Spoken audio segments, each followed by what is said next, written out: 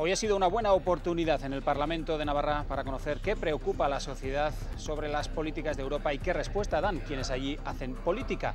En este pleno, tres eurodiputados, Pablo Zalba del Partido Popular, Inés Ayala del Partido Socialista, Iñaki Irazabalbeitia de los Verdes, Alianza Libre Aralar, se han sometido a las preguntas de una treintena de asociaciones de todo tipo.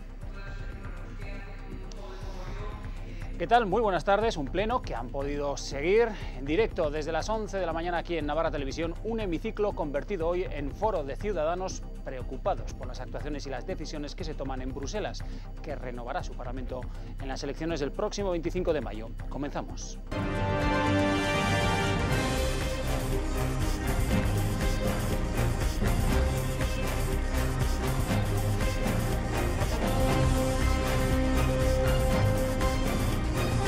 Servicios informativos de Navarra Televisión. Bueno, pues ayer en esta casa también habló la actual diputada y concejal en Pamplona de Gueroaba, Usue Barcos. Se pronunció sobre la consulta soberanista de Cataluña y también habló sobre posibles pactos postelectorales en Navarra. Barcos considera agotado el actual gobierno de UPN y dijo que si las urnas dan los votos, su partido sería quien debería liderar el futuro gobierno de Navarra un gobierno alternativo, habida cuenta que, que, me dedico a defender unas posiciones, me gustaría que tuviera el liderazgo, porque así lo deciden las urnas, el liderazgo de Geroa. Unas declaraciones que no han tardado en responder desde UPN, pero sobre todo desde el Partido Socialista, que desde principios de curso ha apostado por un gobierno de progreso con esta formación y con Izquierda Esquerra. Esto es lo que ha dicho el líder socialista Roberto Jiménez en declaraciones a Navarra Televisión soñar es barato y lo que puedo garantizar es que eso no va a ocurrir de ninguna de, las maneras. El Partido Socialista difícilmente asumirá que un nacionalista gobierne ahora. Yo creo que lo importante es que nadie juegue con cartas marcadas y en este sentido que todo el mundo sepa que la aspiración de Gorabay es que Navarra desaparezca como comunidad política diferenciada. Bueno, pues Navarra, con 85.000 personas en riesgo de pobreza y exclusión, ocupa el puesto 14 en el ranking de regiones con menor riesgo para tenerla. Representan un 13% del total de habitantes. Hoy el Ejecutivo ha anunciado un plan para combatir el fraude en el cobro de la renta de inclusión social y un juzgado de Navarra coge el juicio para dirimir la retirada de la cláusula suelo y la devolución del importe que se considera cobrado indebidamente por parte de una entidad financiera. Es el primer juicio de estas características que ha impulsado la plataforma antidesahucios aquí en Navarra.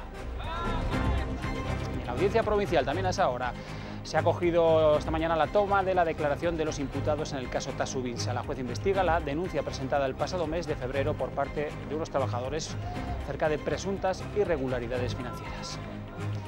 Y Osasuna continúa preparando el duelo del sábado en el Santiago Bernabéu, un campo del que solo el Atlético de Madrid y el Barcelona han conseguido sumar. Pese a la dificultad de arañar algún punto, Javi Gracia va a sacar a casi todos los titulares. Según lo visto hoy en la sesión de entrenamiento, Joan Oriol por Damiá puede ser la gran sorpresa. Puñal y Lobato van a ser los sustitutos de los sancionados Silva y Torres.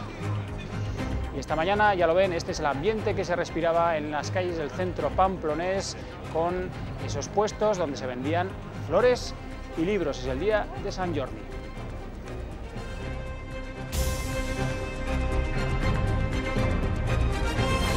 La revista Vanity Fair incluye en su número de mayo una entrevista con la presidenta Yolanda Barcina en la que asegura con que ella, ella fue quien corrigió el cobro de dietas de Caja Navarra. Además, la presidenta asegura que los periodistas conocíamos la existencia de esas dietas y no preguntamos al respecto, algo que no fue así. La presidenta Barcina asegura en la revista Vanity Fair que fue ella quien eliminó el cobro de dietas de Caja Navarra. Asegura que en tiempos de bonanza nadie cuestionaba que los políticos tuvieran otras remuneraciones que en otros sitios de España siguen teniendo. Y remarca que los periodistas lo sabíamos y nunca preguntamos al respecto, algo que no fue así. Ya en octubre de 2011, en una entrevista en Onda Cero con periodistas de varios medios, se le preguntó por ello. De hecho, llegó a mostrar su declaración de la renta. Mi declaración de la renta, lo que pone en la declaración como salario bruto el año pasado, que lo he pedido precisamente esta mañana, es 143 3.256,93 euros. Días antes, la prensa local desvelaba la existencia de la Comisión Permanente de Caja Navarra en la que se cobraban las dietas que investigó la jueza Benito. De hecho, ni algunos compañeros de partido conocían la existencia de la permanente como relataron en sede judicial. Además, en la entrevista de Vanity Fair, la presidenta niega que su amistad con María Dolores de Cospedal le pueda acercar en un futuro al PP y asegura que nunca se cambiará de partido. Preguntada por cómo ve su futuro político, Barcina reconoce que le interesa el futuro de Navarra y que a eso se va a dedicar. Declaraciones de la presidenta Barcina que han dado que hablar incluso dentro de su propio partido. Alberto Catalán, presidente a la vez del Parlamento, dice que no se puede responsabilizar a nadie. Y el alcalde Enrique Maya, el alcalde de Pamplona, ha dicho que él no podía saber lo que sabían los periodistas. Lo que podían saber o no los periodistas, yo no lo puedo saber. Ningún periodista me preguntó a mí nunca nada, lo cual no quiere decir que los periodistas lo supieran o no. Es que yo no, no, puedo tener conocimiento de lo que sabían los periodistas. Tampoco es cuestión de responsabilidad, responsabilizar a terceras personas de situaciones que se han vivido en esta comunidad. No pondré yo nunca en duda la profesionalidad de nadie, ni mucho menos de los periodistas de esta comunidad. Bueno, pues también formaciones políticas han valorado esas declaraciones de Yolanda Barcina desde Groaba y Uso de Barcos, las califica de torpes. El secretario general del PSN decía esto. Se describen por sí mismas y creo que en la vida hay que ser más respetuoso con los profesionales. No sé si una torpeza o un ejercicio de cinismo sideral, una actuación poco ética no lo es ni más ni menos por el hecho de que los periodistas hayan preguntado o por el hecho de que haya tenido trascendencia pública. La diputada de Gueroaba y de Barcos, que en una entrevista concedida a nuestro programa ayer por la noche, cara a cara, afirmaba en torno al hipotético referéndum de Cataluña que son los catalanes únicamente los que deben decidir su futuro. Un hecho extrapolable, dice a Navarra, si algún día se llega a esa misma situación. Barcos apuesta por ese plebiscito catalán en un contexto a su entender nada favorable. Lo triste es que en esa España de 2014 se impida a la gente en, eh, plena, en pleno ejercicio democrático hablar. Una decisión, dice, sobre la que todos los españoles pueden opinar, pero que solo los mismos afectados deben decidir. A los anhelos políticos de los catalanes, opinar opinamos todos, decidir los concernidos. Si esa consulta llegase a Navarra, Barcos le daría su valor, aunque no lo observa como prioritario a día de hoy. Si llegáramos a esa posición, ¿por qué no? En ese tema está previsto en la Constitución.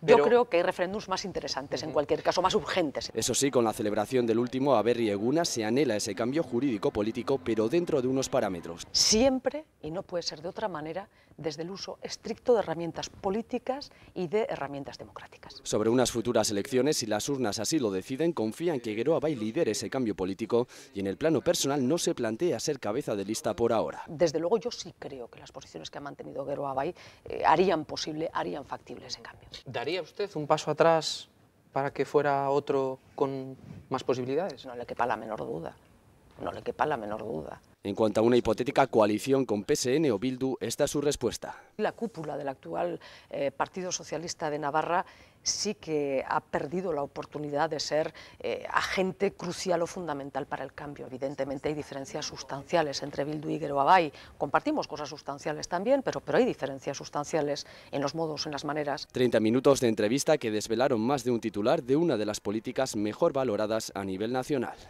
Pues no han tardado en llegar las reacciones tanto de UPN como del Partido Socialista sobre la posible querencia de Guero por la independencia de Navarra y también sobre esos posibles pactos postelectorales. Ambos se presentan contrarios a esos pronunciamientos y también a posibles acuerdos, como decimos, políticos con la formación nacionalista de cara a las elecciones de 2015 y lo que tendría que aclarar Usue Barcos es si quiere que Navarra pase a formar parte de la comunidad autónoma vasca o no. Yo digo que no. Yo creo que lo importante es que nadie juegue con cartas marcadas y en este sentido que todo el mundo sepa que la aspiración de Gorabay es que Navarra se aparezca con comunidad política diferenciada. Soñar es barato y lo que puedo garantizar es que eso no va a ocurrir de ninguna de, de las maneras. El Partido Socialista difícilmente asumirá que un nacionalista gobierne Navarra se están repartiendo el botín antes de conseguirlo y encima sin tener acuerdo para quién lidera. Pues yo creo que un despropósito, claro.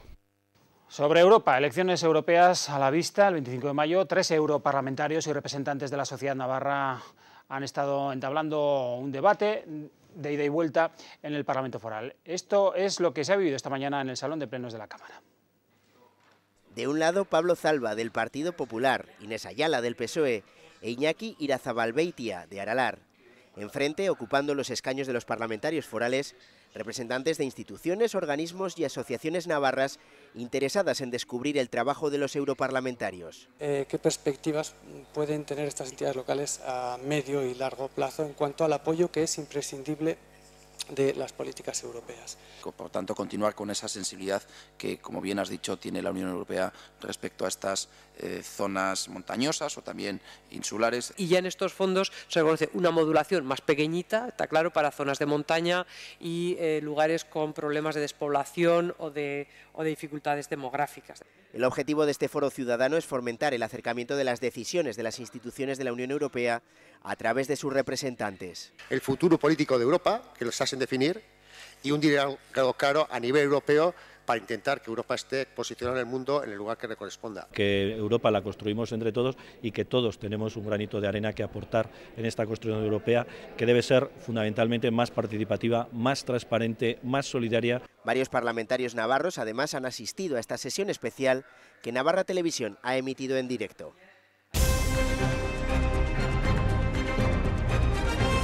El alcalde de Pamplona, Enrique Maya, confía en que la instrucción del caso sobre Ignacio Polo haya sido la correcta. Le sorprende que los sindicatos de policía dispongan de información del expediente al que él mismo no ha tenido acceso, aunque en cualquier caso dice que se mantiene al margen dejando trabajar a los responsables del área. Respecto a quién va a sustituir a Polo en la Concejalía de Seguridad Ciudadana, ha señalado que esta semana o el próximo lunes tomará la decisión. Dejar trabajar ¿no? al, quien ha instruido el, el expediente y confiar en una correcta instrucción del mismo. Me sorprende que, que ya dispongan ¿no? de la información del propio expediente de los sindicatos. Yo es un poco lo que también quiero aclarar, ¿no? el, el saber el, el, cómo se ha instruido y confiar en que esa instrucción haya sido correcta y evidentemente saber quién ha tenido acceso al expediente porque yo personalmente no lo he tenido.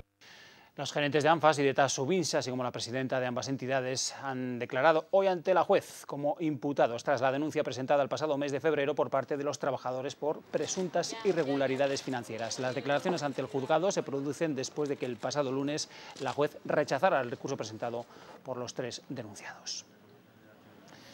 Y la Guardia Civil está investigando el robo de 2.000 cartones de tabaco en una empresa de Berrio Plano. Al parecer, los ladrones forzaron en la madrugada del domingo uno de los accesos de Logista, distribuidora de tabaco, y se llevaron varios cartones de una de las marcas americanas más caras. Su precio al público asciende a unos 100.000 euros. Además, los daños materiales provocados en esta instalación han sido cuantiosos. El robo no fue descubierto hasta ayer cuando los trabajadores regresaron después de estos días festivos.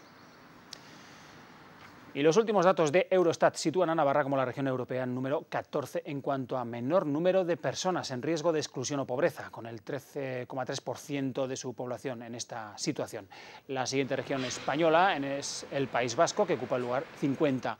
Cabe destacar que en el estudio correspondiente al año anterior, la comunidad foral ya figuraba en el puesto 31, con el 15,4% de la población en riesgo de exclusión o pobreza. Para realizar este ranking, Eurostat ha empleado la tasa AROPE, que combina factores de renta, de privación de bienes materiales y el número de personas que trabajan por hogar. 250 familias podrían perder la renta de inclusión social una vez que entre en marcha el nuevo plan contra el fraude diseñado por el Gobierno. El objetivo es que los recursos públicos lleguen a quien de verdad los necesita.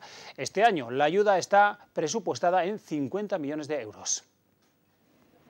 68 ayudas se retiraron en 2013 por fraude. Fueron casos muy puntuales relacionados principalmente con la ocultación de datos relevantes o relativos al empadronamiento. Por ello, el Gobierno va a supervisar las obligaciones de quienes perciben la renta de inclusión social. Medidas para evitar el fraude persiguiendo la economía sumergida con especial atención a las separaciones conyugales ficticias la gran mayoría de las personas que están pasando en este momento el drama de la percepción de la exclusión social o del riesgo de pobreza no tiene estas, este caso ni mucho menos, pero sí que es cierto que el Gobierno de Navarra va a mirar con lupa estos casos. Se supervisará que los beneficiarios no dispongan de otras prestaciones sociales, que residan de manera continuada y permanente en Navarra o que escolaricen a sus hijos. Intentar detectar situaciones como sean separaciones conyugales o sentimentales ficticias, convivencia, cohabitación de relaciones de, de sentimentales de afinidad que se producen pero se ocultan a efectos de conseguir cobrar una mayor cuantía, o bien el empadronamiento en domicilios donde no se reside, en especial en zonas limítrofes con, con otras comunidades autónomas. En 2013 el Gobierno invirtió 37 millones y medio en la renta de inclusión social que recibieron 9.472 familias y de la que se beneficiaron 22.000 personas. Esta mañana se ha celebrado en Pamplona el primer juicio en Navarra contra las cláusulas suelo promovido desde la plataforma de afectados por la hipoteca. De esta forma han apoyado a una familia ecuatoriana a la que se le subrogó la hipoteca en peores condiciones que la anterior y por eso se sienten engañados por esa entidad, Caja España. Por eso han presentado una demanda ante el juzgado de lo mercantil en la que reclaman la retirada de la cláusula suelo y la devolución del dinero cobrado. Nos endosan en la letra pequeña una cláusula abusiva, la cláusula suelo. A nosotros realmente eso no se nos ha explicado absolutamente nada. Lo que se quiere es presionar que vayan saliendo muchas pequeñas sentencias, muchos juicios como estos, para que de una vez por todas el Banco España, el Banco España intervenga y elimine por ley las cláusulas suelo. Y el Departamento de Fomento va a contratar a 22 personas en los próximos cuatro años para su plantilla de los centros de conservación de carreteras. Las primeras plazas se van a cubrir a partir de las listas de personal con las que cuenta la Administración. No se descarta que en el futuro se tenga que convocar una oposición para cubrir todas las vacantes. Navarra cuenta con una red de carreteras de una longitud de más de 3.800 kilómetros. Hay siete centros de conservación de las vías repartidos por todos los puntos de la comunidad dentro de una situación en la cual, como todos, todos saben, pues no se eh, sacan eh, plazas nuevas de oposición, la recuperación de estas plazas para, para volver a, tener una plantilla que consideramos que es la que eh, necesitamos, la óptima para llevar a cabo estas tareas.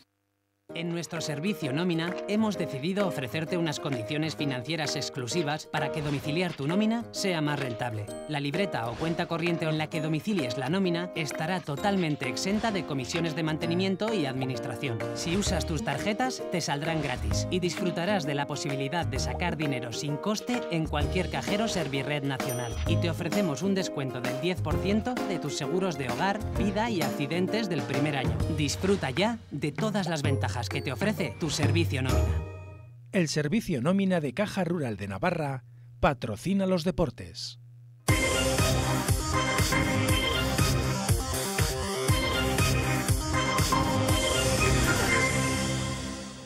Osasuna continúa preparando el duelo del sábado en el Santiago Bernabéu, un campo del que ha salido derrotado en las últimas ocho visitas y a pesar de la superioridad del Real Madrid en Gracia no va a reservar jugadores. Según lo visto en la sesión de hoy, Javi Gracia no tira el duelo del Santiago Bernabéu y sacará a casi todos los titulares. Joan Oriol, en detrimento de Damián, sería la única novedad por decisión técnica, mientras que la entrada de Puñal y Lobato sería obligada, puesto que Silva y Torres están sancionados. No creo que el Mister va a salir suplente, o... pero no sé, no, no hay que ir ahí como el partido, el partido no está perdido porque todavía no hemos jugado. Pues no, no creo que el Mister salga con suplentes o con jugadores que juegan menos, pero siempre hay opciones. El mejor ejemplo de que Osasuna se toma en serio su visita al Real Madrid es que los otros cuatro jugadores que estaban apercibidos de sanción no forzaron la quinta para pasar limpios a las tres últimas jornadas. Mister tampoco es de decir tienes que sacar una tarjeta porque si no habíamos si pensábamos que el partido del Madrid era perdido estábamos como seis jugadores con cuatro tarjeta y la íbamos a sacar para perder el partido del Madrid y no, no hemos hecho eso. El centrocampista reconoció que ante la dificultad de puntuar ante un Real Madrid que se juega la Liga, Osasuna está pendiente de mantener el golaveraje general. Positivo, aunque sea una derrota, que salgamos con buenas sensaciones y si es un empate, un empate y, y si sale una victoria, pues mucho mejor. El camerunés disputará su sexto partido consecutivo en el once titular y en la actualidad atraviesa por su mejor momento de la temporada. Pues Nino no se ha entrenado por una sobrecarga en el aductor derecho y es probable que sea baja para el sábado. La almeriense no ha podido estar en esta foto de familia que se han sacado los jugadores del primer equipo con afectados y familiares de la ataxia de Fiedrich, una enfermedad rara sin cura de origen genético y degenerativa que afecta a unas 3.000 personas en España. Y empate a cero en la primera semifinal de la Champions que se disputó ayer. Atlético de Madrid y Chelsea lo dejan todo para el partido de vuelta con los navarros Raúl García y César Azpilicueta en el once titular de sus respectivos equipos, algo que se espera que ocurra esta noche con Javi con Martínez, perdón, en el Bayern de Múnich. El conjunto bávaro visita el Santiago Bernabéu en la otra semifinal de la Champions. Con un navarro seguro en la final de Lisboa, el de Allegui podría dar mayor color foral a la mejor competición del continente. Nuestro servicio nómina hemos decidido ofrecerte unas condiciones financieras exclusivas para que domiciliar tu nómina sea más rentable. La libreta o cuenta corriente en la que domicilies la nómina estará totalmente exenta de comisiones de mantenimiento y administración. Si usas tus tarjetas, te saldrán gratis y disfrutarás de la posibilidad de sacar dinero sin coste en cualquier cajero Servirred Nacional. Y te ofrecemos un descuento del 10% de tus seguros de hogar, vida y accidentes del primer año. Disfruta ya de todas las ventajas que te ofrece tu servicio nómina. El servicio nómina de Caja Rural de Navarra patrocina los deportes. Hoy se celebra el Día Internacional del Libro y las librerías han salido a la calle para ofrecer libros con descuentos y para regalar rosas. Pero además se han puesto en marcha iniciativas como el Book Crossing, llevadas a cabo por 48 bibliotecas de museos españoles. Nos explica de qué trata esta iniciativa nuestra compañera Ollane Garzón. Adelante, Ollane, muy buenas tardes. ¿Qué tal, Ricardo? Muy buenas tardes. Bueno, pues el Book Crossing es una iniciativa puesta en marcha por varios museos de toda España, también algunos navarros, entre ellos el Museo de Navarra. La iniciativa lo que pretende es liberar libros por las ciudades, colocándolos en algunos lugares para que quien pase y los vea tenga la opción de llevárselos, de leerlos en su casa y de dejarlos después en el mismo lugar o en otro lugar para que continúe la cadena. En el caso del Museo de Navarra ha liberado seis guías del museo como estas. Una de ellas ha sido colocada en esta muralla a primera hora de la mañana y ya se la han llevado. Con el fin de invitar a la lectura y a disfrutar de distintos espacios, se liberan libros. Son libros a los que se les colocan unas etiquetas especiales que se pueden rastrear a través de Internet y, y, las personas que los encuentren en los distintos lugares pueden leerlos y luego volver a dejarlos, viajar con ellos. Es una manera de poner a los libros, sacarlos de las bibliotecas y de las librerías y ponerlos a disposición de la sociedad. Hoy ellos son los protagonistas, los hay nostálgicos, los hay reveladores y otros que invitan a soñar hasta reinos cerrados con llaves de oro. Pero también hay hueco para los que se inician y para los que están de vuelta de todo. También encontramos historias que entre página y página hacen un canto a la libertad. Millones de historias recogidas en esas páginas que en ferias como esta buscan su dueño. ¿Cómo leer iglesias? No, al verlo aquí me ha gustado. Sobre el bloqueo de Pamplona en la Guerra de Independencia. La Primera Guerra Mundial contada para escépticos de Juan Eslava Galán. También encontramos éxitos cercanos y otros que se resisten a llegar a manos de los lectores, como las obras de García Márquez, agotadas en gran parte de los puestos. Y nos ha pedido sobre todo el de Cien años de soledad y el coronel no tiene quien lo escriba. Enseguida se han acabado a primeras horas. Pues la pena es que teníamos mmm, tampoco tampoco que se ha acabado enseguida. El sol ha acompañado esta mañana y los lectores se han animado. Algunos que otros libros que se venden mejor que otros, pero bien, sí. bien. Aparte que el día acompaña. Se está yendo muy bien, una mañana muy bonita de luz, de sol y de gente, la verdad. Y porque dicen, todo depende de la prisma con la que se mire. Bueno, pues parece que ningún concurso de carteles está exento de polémicas últimamente. Esta vez le ha tocado al anunciador de las fiestas de Santana, en Tudela. El autor ya presentó en 2012 uno muy similar, un cartel muy similar al que ahora ha sido seleccionado para anunciar las fiestas. Estos son los dos carteles. A la izquierda el que el autor presentó al concurso de Pamplona en 2012 y que no fue escogido entre los finalistas. Y a la derecha el ganador de la edición de este año en Tudela. Las semejanzas son evidentes, por lo que se ha convocado de urgencia al jurado del concurso para que decida sobre la descalificación o no del cartel. Y es que el reglamento dice que las obras que se presenten al concurso deberán ser originales e inéditas. En el consistorio entienden que puede sostenerse que la obra es original, puesto que corresponde al mismo autor, pero tienen más dudas sobre la calificación de inédito. Y lo creen así porque aunque el cartel de Pamplona no fue finalista, sí apareció recogido en su día en una foto de Diario de Navarra junto con otros carteles que habían participado en el certamen. Si el jurado del concurso, compuesto por 12 personas y un asesor jurídico del ayuntamiento, decide finalmente la descalificación del ganador, se abriría otro problema, y es que las bases no contemplan qué ocurre si el ganador es desposeído de su título. Existe un segundo premio, pero el reglamento no especifica que sea la obra escogida en caso de que se elimine al ganador. Pues nada más, aquí ponemos punto final a este espacio de noticias. Les emplazamos a que sigan informados aquí en Navarra Televisión en sucesivas ediciones de informativos. La siguiente, ya lo saben, como cada tarde-noche a las ocho y media con Ainhoa Hernández. Y a las 4 de la tarde, ya lo saben, me importas tú con Carolina Laerran. Nada más, que pasen una muy feliz tarde.